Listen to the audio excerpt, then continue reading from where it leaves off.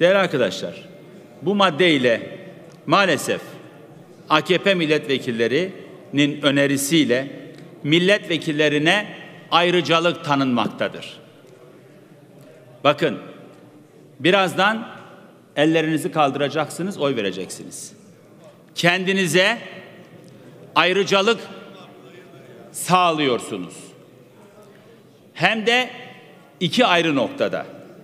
Bunlardan bir tanesi bir öğretim üyesi milletvekilliği bittikten sonra üniversitesine döndüğü zaman kendi üniversitesine canı isterse dönecek, canı isterse ve kadro varsa Türkiye'deki bütün üniversitelere gidebilecek. Halbuki milletvekili olmayan bir öğretim üyesi böyle bir hakka sahip değil. Beterin beteri var mı? Var. Eğer milletvekili olan öğretim üyesi üniversiteye dönerse ve siz bu maddeyi kabul ederseniz bu durumda hem emekli maaşını alacak hem de üniversiteden maaş alacak. Yani çifte maaş alacak. Peki bir başka öğretim üyesi, milletvekili olmayan bir öğretim üyesi eğer emekli olup tekrar üniversiteye dönerse bu haktan yararlanabilecek mi? Hayır yararlanmayacak. Yani siz kamu üniversitesine kamu üniversitesine dönen milletvekillerine eğer bu maddeyi kabul ederseniz kıyak yapmış olacaksınız.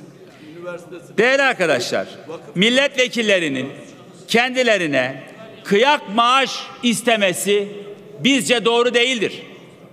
Bu durum ahlakla da bağlaşmaz, eşitlikle de bağdaşmaz.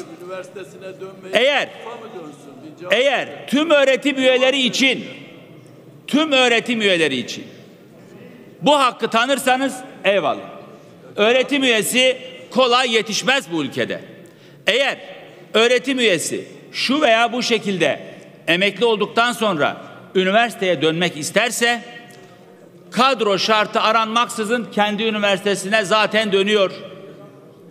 Hadi buyurun hep beraber bütün öğretim üyelerine kadro var ise istediği yere gitme şansı verelim. Yani eşitlik verelim. Bunu yaparken dönen öğretim üyelerinin tamamına hem millet hem emekli maaşını hem de hak ettiği maaşı verelim. Bunu yaparsanız biz varız. Eğer bunu yapmaz, sadece milletvekillerine bu ayrıcalığı tanırsanız biz bunu çıktığımız her televizyonda, gittiğimiz her basın kuruluşunda dile getiririz. Bunu bütün köylerde anlatırız. Anlatacağız. Bakın buradan ben de yararlanacağım. Ben de bir öğretim üyesiyim ve üniversiteye döndüğümde sizin sayenizde çifte maaş alacağım. Ben bunu ahlaki bulmuyorum ve reddediyorum. Bunun için de biz Anayasa Mahkemesi'ne gideceğiz arkadaşlar. Millet bize millet bize en büyük şerefi vermiş. Getirmiş bizi burada milletvekili yapmış. Daha ne istiyorsunuz? Bundan daha büyük şeref olur mu? 3-5 bin lira para almak için milleti bu şekilde kahretmeye gerek var mı? Milletvekilliğinin şanını şerefini düşürmeye gerek var mı? Çifte maaşı hangi birinizin ihtiyacı var Allah aşkına? Gelmişsiniz milletin bağrından kopmuşsunuz en güzel yere oturmuşsunuz. Bundan sonra üç kuruş fazla alsanız ne olur? Almasanız ne olur? Alacaksak hep beraber alalım. Bütün öğretim üyeleri alalım. Ama sadece ve de sadece milletvekillerine böyle bir ayrıcalık tanınması bizi üzüyor. Sadece iki muhalefet partisinin bu önergeye karşı çıkması da beni ayrıca üzüyor.